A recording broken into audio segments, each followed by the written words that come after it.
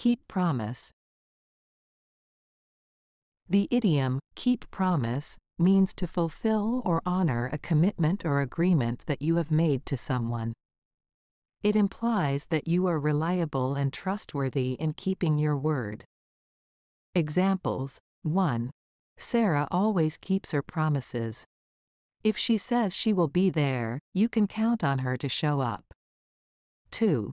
I promised my friend that I would help him move this weekend, and I intend to keep my promise. 3. It's important to keep promises, especially in professional settings. If you promise your boss that you will complete a project by a certain deadline, make sure you deliver on time.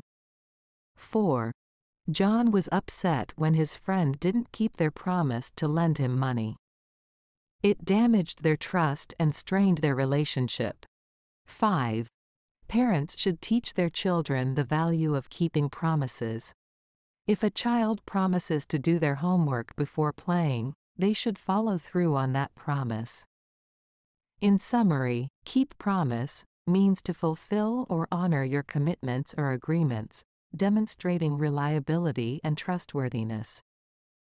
It is an important virtue in personal and professional relationships.